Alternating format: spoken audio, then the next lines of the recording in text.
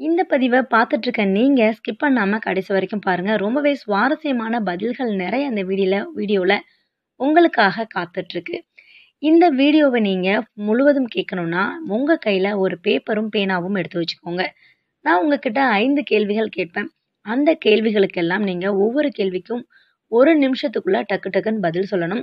So, அதில் கேட்கக்கூடிய கேள்விகளுக்கு உங்களுக்கு பதில் தெரியலனா நீங்கள் அடுத்த கேள்விக்கு தாராளமாக பெயரலாம். பதில் தெரிந்தே ஆகணும் அப்படிங்கிற எந்த ஒரு அவசியமும் கிடையாது. சரி முதல் கேள்வி அப்படின்னு சொல்லி பார்த்தோம்னா, கடைசியாக ஆஸ்கர் வாங்கிய ஐந்து நடிகர், நடிகைகளோட பெயர்களை எழுதுங்க.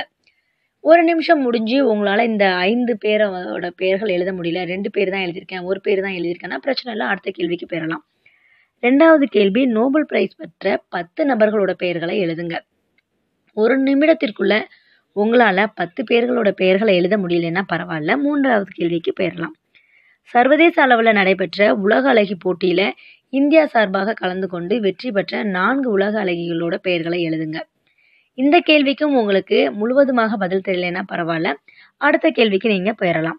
அடுத்ததாக 2004, 2009ஆம் வருஷம் பாராளுமன்ற தேர்தலில் பிரபல அரசியல் தலைவர்களை தோற்கடித்து மாபெரும் வெற்றி பெற்ற தலைவர்களோட பெயர்களை எழுதுங்க.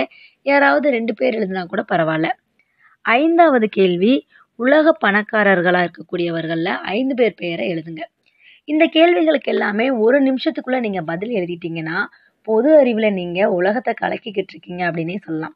ஒரு நிமிஷத்துக்குள்ள என்னால் முழுவதுமாக பதில் எழுத முடியலை அப்படின்னு சொல்றவங்க கவலைப்படவே வேண்டாம். நான் அடுத்த ஐந்து கேள்விகள் கேட்குறேன் அந்த கேள்விகளுக்கு உங்களுக்கான பதில் டக்கு டக்குன்னு வரும். அதில் எந்த ஒரு சந்தேகமுமே இல்லை முதலாவதாக நீங்கள் ஸ்கூல்ல இருந்து இப்போ காலேஜ் படிக்கிற வரைக்கும் இருக்கக்கூடிய உங்களுக்கு பிடிச்ச மூணு டீச்சரோட பெயர்களை எழுதுங்க. ஒரு நிமிஷத்துக்குள்ளே எழுதிட்டீங்கன்னா, அடுத்த கேள்விக்கு நீங்கள் டக்குன்னு பெயரலாம். அடுத்து ரெண்டாவது கேள்வி உங்களோட வாழ்க்கையில் பயனுள்ள விஷயங்கள உங்களுக்கு கற்றுக் கொடுத்த 4 பேரோட பெயர்களை எழுதுங்க. மூன்றாவது கேள்வி உங்களோட ஆபத்தில் உங்களுக்கு உதவியாக இருந்த நண்பர்களாக இருந்தாலும் சரி, மற்ற நபர்களாக இருந்தாலும் சரி, அவங்களோட ஒரு மூன்று பேர் பெயர்களை எழுதுங்க. நாலாவது கேள்வி உங்களோட வாழ்க்கையை அர்த்தமுள்ளதாகவும், சுவாரஸ்யமானதாகவும் மாற்றிய மூன்று நபர்களோட பெயர்களை எழுதுங்க.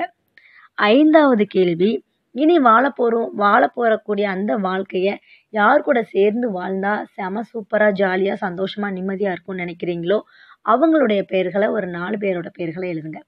முதல்ல கேட்ட அந்த அஞ்சு கேள்விக்கு உங்களுக்கு முழுவதுமாக பதில் எழுத தெரியலைன்னா கூட, அடுத்து கேட்ட அந்த ஐந்து கேள்விகளுக்கு கண்டிப்பாக உங்களால் பதில் எழுத முடிஞ்சிருக்கும். அதில் எந்த ஒரு தடுமாற்றமுமே இருந்திருக்காது. இதிலிருந்தே தெரியுது. நம்மளோட வாழ்க்கையில் நம்மளோ நமக்கு உதவி செய்தவர்கள், நம்மளோட ஆபத்தில் இருந்தவங்க, நம்மளோட வாழ்க்கையை அர்த்தமுள்ளதாக, சுவாரஸ்யமாக மாற்றிய நபர்கள் மட்டும்தான் நம்மளோட மனசில் எப்போதுமே இருந்துகிட்டே இருப்பாங்க.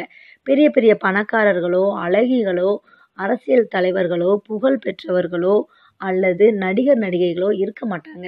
அந்தந்த தலைப்புச் செய்திகளில் அந்த முக்கிய செய்திகளில் வர்றவங்க அதோடு அப்படியே மறந்து போயிடுவோம் நாம் ஆனால் நம்ம மறக்காமல் நம்மளோட இதயத்தில் இடம் பிடிச்சவங்கன்னு சொன்னோம்னா, நம்மளோட ஆ ஆபத்தில் நமக்கு உறுதுணையாக இருந்தவங்கள மட்டும்தான் வந்து நம்ம ஞாபகம் வச்சுருக்கோம் ஸோ, இனிமேனாலும் நம்மளோட வாழ்க்கையை வந்துட்டு பணத்துக்காக, புகழுக்காக, பெருமைக்காக நம்மளோட டயத்தை கொடுக்காம, நம்மை சுற்றி இருக்கக்கூடிய அன்பான உள்ளங்களை தேடி அவங்களோட மனசில் இடம் பிடிக்கிறதுக்கான வேலைகளை நாம் பார்க்கலாம்.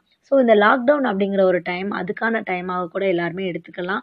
ஸோ, உங்களுக்கு இருக்கக்கூடிய ஸ்ட்ரெஸ்ஸை குறைச்சி உங்களை அக்கம் பக்கத்தில் இருக்கக்கூடிய மனிதர்களை நேசித்து, அவங்களோட அன்பாகவும், சந்தோஷமாகவும் வாழ பழகுங்க. பணம், பணம்னு பணத்து பின்னாடியே போய்கிட்டே இருந்தோம்னா, நம்மளோட வாழ்க்கை முடியும் போது நம்ம நிம்மதியாக வாழ்ந்தோமா, சந்தோஷமாக வாழ்ந்தோமா அப்படிங்கிற கேள்விக்கு கேள்விக்குறியாக தான் இருக்கும். ஸோ, இந்த பதிவு உங்களுக்கு ரொம்பவே பிடிச்சிருந்ததுன்னா, இந்த பதிவை உங்கள் நண்பர்களுக்கும், உறவினர்களுக்கும் ஷேர் பண்ணுங்கள் இந்த பதிவு பற்றின உங்களோட கருத்துக்களை கமெண்ட் செக்ஷனில் பதிவு பண்ணிடுங்க. மேலும் பல்வேறு செய்திகளை உடனுக்குடன் தெரிந்து கொள்ள தமிழ் பக்கெட் சேனலை சப்ஸ்கிரைப் பண்ணி சைடில் இருக்கிற பெல் பட்டனை கிளிக்